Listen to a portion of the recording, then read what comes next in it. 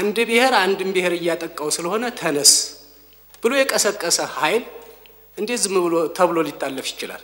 አገር እንዲፈርስ ዜጎች እንዲጋጩ በብሔር ብሔረሰብ በሃይማኖት አገር ተረጋግታ እንዳትቀጥል የሚያደርጉ አካላቶች አሉ። አሁን በሀገራችን በሁሉም ክልል የሚወጡ ዘፈኖች ዘፈን እንበላቸው የጦር ቅስቀሳ፣ ሽለላው፣ ፉከራው፣ ውጣ ተሰለፍ፣ አራት ኪሎ ግባ፣ ከዛ ተነስ፣ እከለን እንዲያር ምንድን ምን እንበላቸው? መሰረቱ የጥላቻና የሐሰት ሀሳቦች ናቸው።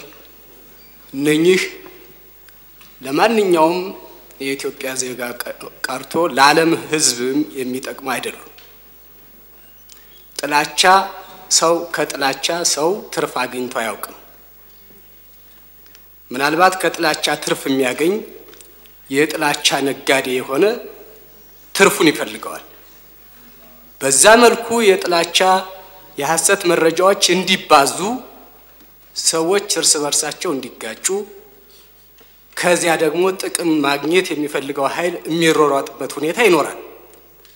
ይሄ በየትኛውም ዓለም በየትኛውም ሀገር ተቀባይነት የለውም፣ በምንም ታምር ቢሆን።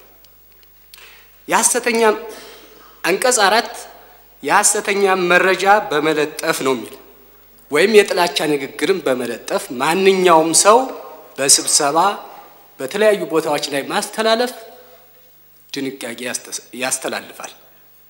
ማንኛውም ሰው ሲባል ነፃ ሰው አይደለም። የጥላቻና የሐሰት መረጃዎችን የሚያስተላልፍ ብቻ ነው።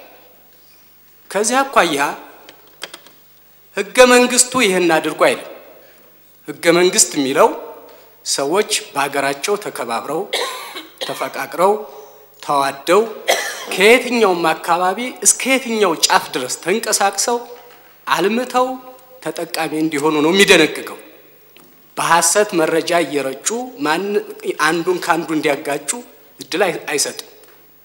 እኔ የማውቀው ህገ መንግስት ይሄ ነው። ምናልባት ሌላ ህገ መንግስት ካለ እንግዲህ አላቅም። የኢትዮጵያ ህዝብ የሚያውቀው ህገ መንግስት ይሄ ነው። ሀሳብን አይገድብም። ይሄ የሚገድበው የሐሰት እና የጥላቻ ንግግርን ነው። ከዚህ አኳያ ተገቢና ትክክለኛ አዋጅ ነው። በጥላቻና በሐሰት እየነገዱ የሚኖሩ ጥቅም የሚያገኙ አሉ። እነዚህ ደግሞ መቆም አለባቸው፣ የኢትዮጵያን ህዝብ እያፋጁ እስከሆነ ድረስ ማለት ነው። ምናልባትም ይህ አዋጅ እንደ ጸረ ሽብር አዋጁ የቡድኖች መጠቀሚያ አዋጅ አይሆንም። የጸረ ሽብር አዋጁ ሲጸድቅ እኮ የአይን ቀለም ደስ አላለኝም በሚል ሁኔታ ሰዎች በማንነታቸው የሚታጎሩበት ሰዎች በማንነታቸው የሚኮላሹበት ሁኔታ እኮ ነው ያለፈው። ይህን አዋጅ እኮ አጽድቀነዋል። ያንን አዋጅ ማለት ነው። በጣም ጥሩ ነው። እንዲያውም አገሪቱን ጥሩ ያደርጋታል ተብሎ ማለት ነው። ነውሩ ያ ነበር። ነውሩ ህብረተሰቡን በአገሩ ተወልዶ በአገሩ ሰርቶ እንዳይጠቀም የትም ሀገር እንዲሰደድ የሚያደርገው አዋጅ ነው ነውሩ። ይሄ ግን በህብረተሰቡ ላይ ጥላቻን እየነዙ የሚኖሩና ተጠቃሚ ኃይሎች ሀይ መባል አለባቸው።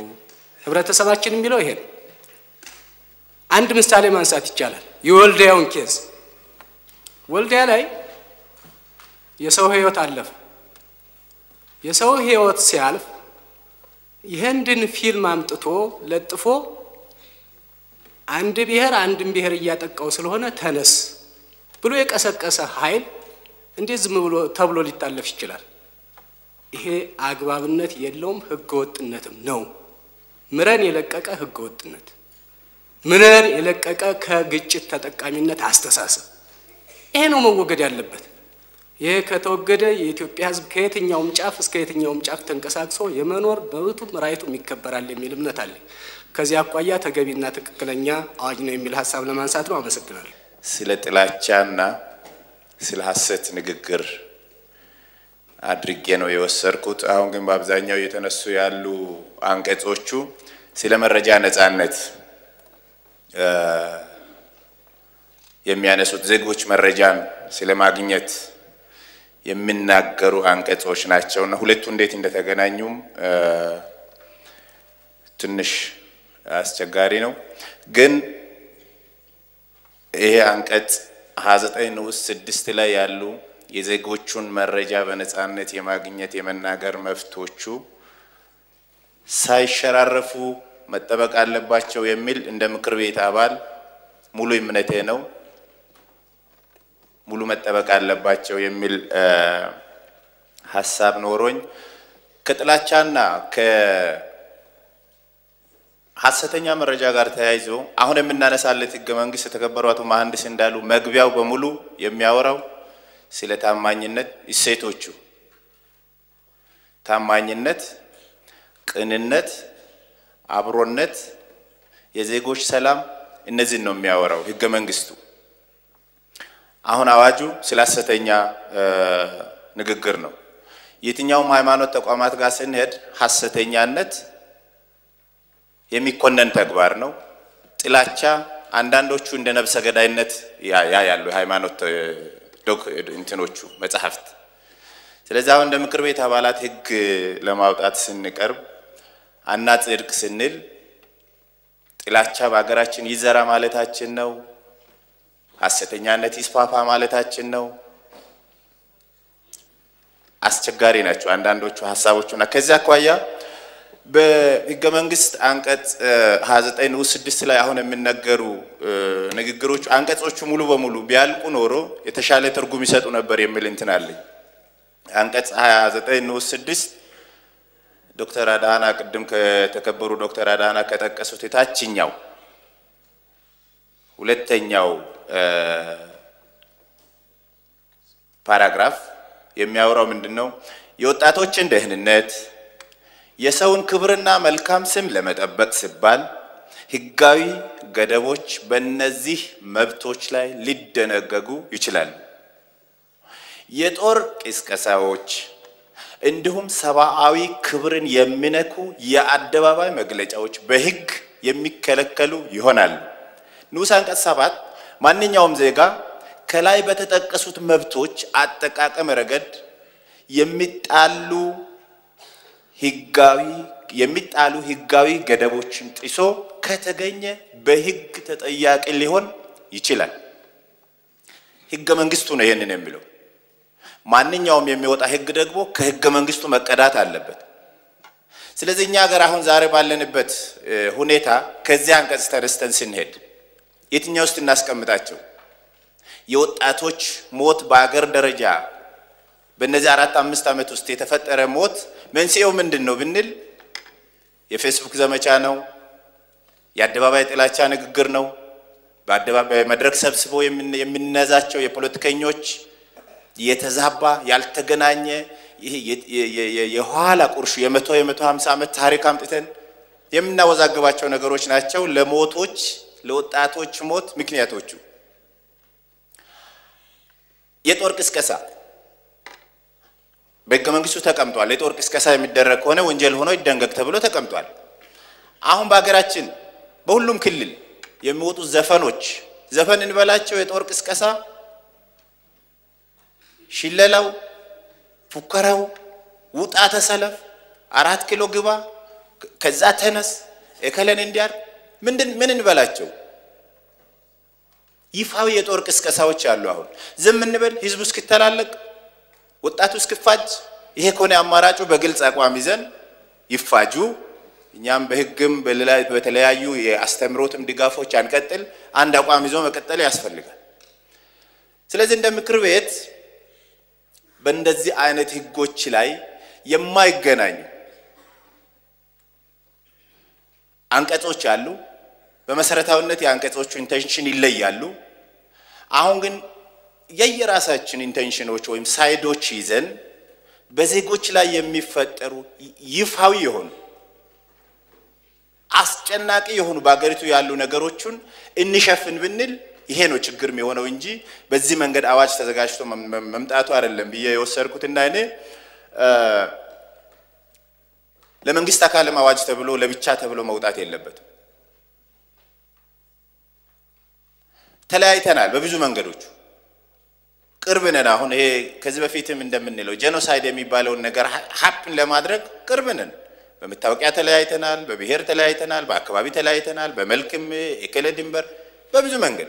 ስለዚህ እነዚህ ነገሮች clear የሆነ የህግ ድንበር አስቀምጠን ህገ መንግስቱ የሚያስቀምጠውን መሰረታዊ ነገሮች ተንተርሰን በህጎች ደግፈን በአሰራሮች አስተካክለን የቆሸሹ ነገሮችን አርመን መሄድ ካልቻልን እጅግ አዳጋች ነገር ነው ያለውና እንዴት እንደምናስብ ራሱ ትንሽ ቆም ብለን እንደገና መፈጸም ማየት የሚያስፈልግ ይመስለኛልና እኔ ወጣቶቹን የዜጎች የመረጃ መብትን የሚነካ በምንም መንገድ አለ ብዬ አልወሰድኩም። የሚያወራው ስለ ጥላቻ፣ ስለ ሐሰት ይሄ ህገ መንግስቱም ያወግዘዋል። የሃይማኖት ተቋማትን ያወግዛሉ። የሀገራችን ባህል ያወግዛል። የሀገራችን ሽማግሌዎች ያወግዙታል።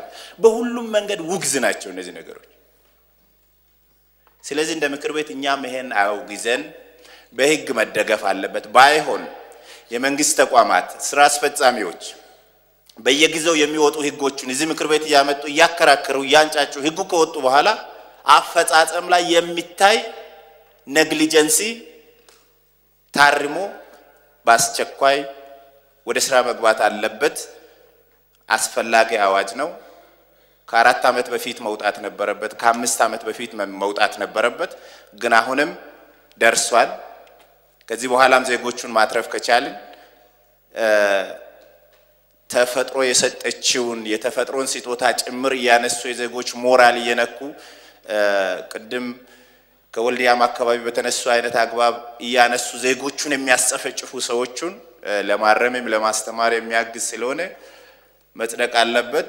የዘገየ ቢሆንም አሁንም ቢሆን አውጥተን ዜጎቹን መታደግ አለብን የሚል ሀሳብ ለማንሳት ነው። አመሰግናለሁ። ህጋዊ አግባቦች ዓለም አቀፍ ህጎች ጋራ ይጣጠማለሁ የሚለውን ነገር ሚዛኑን ጠብቆ ከቅንነት የመነጨ እይታ ሊኖር ይገባል። ይሄ ምክር ቤት በዚህ ልክ ነው ሊያየው የሚገባ። አልበለዚያ ምናልባት ከቅንነት ያልመነጨ እይታን ይዘን ከሄድ የምንደርስበት ማጠቃለያ ለሀገር ጥሩ ላይሆን ይችላል።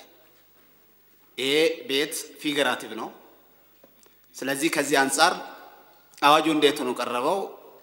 ከህገ መንግስቱ ይቀዳል ወይስ እንዴት ነው የሚለውን ነገር ነው መጀመሪያ ማየት ያለብን። ህገ መንግስታችን ዓለም አቀፍ ድንጋጌዎችን መሰረት አድርጎ የወጣ ድንጋጌ ነው። ከሱ ጋራ ምን ያህል የተጣጣመ ህገ መንግስቱን ሊያስፈጽም የሚችል አዋጅ ነው እየወጣ ያለው ወይ የሚለውን ነገር ማየቱ ነው። ይህን ስንል ደግሞ ከደረስንበት አጠቃላይ ሀገራዊ ሁኔታ ተጨባጭ እውነቶች ጋር አገናዝቦ ሚዛኑን ጠብቆ መመዘንን ይጠይቃል። ይህን ስል ቅድም ከኔ በፊት ሲያነሱ የነበሩት የተከበሩ ምክር ቤት አባላት በተለይ አንቀጽ 29 ላይ ያስቀመጠው ግልጽ ነው ያስቀመጠው ምን ማለት ነው የሚለውን ነገር ግልጽ አድርጎ አስቀምጠዋል። አሁን እውነት ይሄ ምክር ቤት ይህን አዋጅ አስቀድመን ነበረ ከህገ መንግስቱ ቀርተን ተርጉመን ቀጣይ ባሉት አዋጆች አስደግፈን አገርን ማስቀጠል ዜጎችን ተረጋግቶ እንዲኖሩ መስራት የነበረብን። አሁን ግን አጣብቅኝ ሁኔታ ውስጥ ስንገባ ነው ይህ አዋጅ ተቀርቶ መጣው። ብልሽቱ መጀመሪያ ላይ ነበረ ማለት ነው። ስለዚህ አሁንም አልመሸም። ሀገር መቀጠል አለበት። ዜጎች ተረጋግቶ መኖር አለባቸው። ያንን የዜጎችንና ሀገርን ሊያፈርሱ የሚችሉ አካሄዶች መገደብ አለባቸው። ከዛ አንጻር ነው ተቃይጦ የመጣው አዋጁ። በምንም አይነት የዲሞክራሲ በዲሞክራሲ ሀሳብን በነጻነት የማንሸራሸር መብትን የሚገድብ አይደለም አይልም። በደንብ ማየት ነው ያስቀመጠው ነገር ምንድን ነው? በህገ መንግስቱ ያልተፈቀዱ አገርን ሊያፈርሱ የሚችሉ ዜጎች እንደ ዜጋ ተረጋግቶ በጋራ እንዳይኖሩ የሚያደርጉ ጉዳዮች ሊገደቡ ይገባል ነው። ምንድናቸው? ዘርዘር አድርጎ አስቀምጧል ማለት ነው። ከዚህ አንጻር ተቃኝቶ የመጣ አዋጅ ነው። ለምንድን ነው ወዳና ወዲህ የምናንሻፍፈውና ያልሆነ ቅርንጫፍ እየሰጠን ሚዛኑን የአዋጁን ሚዛን አስተን ያልሆነ ማጣቀሻዎችን እያነሳን ሌላ ዱላ የምናቀብለው እና ትንሽ እኔ እታዝባለሁ። ትላልቅ ይሄ ምክር ቤት ትልቅ ነው፣ በዛ ልክ ማየት ተገቢ ነው። አገርን ነው የምናስቀጥለው። ስለዚህ ከዚህ አንጻር እኔ አዋጁ ትክክለኛ እንትን ነው ያስቀመጠው። ከምንም ቅድም የተከበሩ አቶ ተስፋዬ ያስቀመጣቸው ድንጋጌዎች ዓለም አቀፍ ድንጋጌዎችን ሕገ መንግስቱንም ሚዛኑን ጠብቆ የወጣ አዋጅ ነው። ሀገር ይቀጥል፣ ዜጎች ተረጋግተው ኑሩ በዚህ ሀገር ላይ ሀገር እንዳይፈርስ የሚፈልግ የዚህ ምክር ቤት ይሄ ምክር ቤት ትልቅ ኃላፊነት አለበት። ስለዚህ መድረስን መቻል አለብን። ይሄ አዋጅ እኔ በምንም አይነት ሀሳብን አይገድብም፣ የዜጎችን መብት አይነካም። የሚገድበው ምንድን ነው? አገር እንዳይፈርስ ከዛ በስተጀርባ ደግሞ ፋይናንስም የሚያደርጉ አካላቶች አሉ። ሀሳቦችን አገር እንዲፈርስ ዜጎች እንዲጋጩ በብሔር ብሔረሰብ በሃይማኖት አገር ተረጋግታ እንዳትቀጥል የሚያደርጉ አካላቶች አሉ። ያንን የሚያመነጩ አገርን ለማፍረስ የሚሄዱ አካላቶችን ቁሙ ለማለት የወጣ አዋጅ ነውና እኔ ሁሉም የምክር ቤት አባላት በዚህ ልክ አይቶ ቢያጸድቆ የሚል ሀሳብ ለማቅረብ ነው። አመሰግናለሁ።